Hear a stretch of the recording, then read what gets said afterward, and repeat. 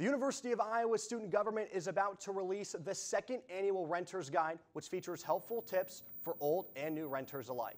DITV reporter Emily Callahan has more in the newsroom. Emily, what is the goal of the Renter's Guide? Sure. So the Renter's Guide is sort of a catalog of apartments in the downtown Iowa City area. Um, it's totally produced by students like the UISG, and actually a lot of it is based in a survey that students who have rented before can take.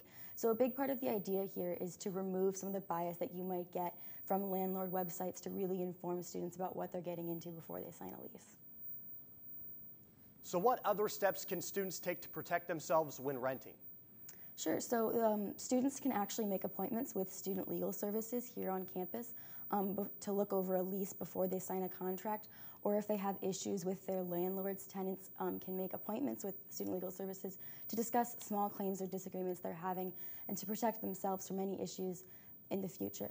Um, so make sure to look at student legal services if you're having problems and to look over the renter's guide, which should be released shortly before you sign a lease for next year.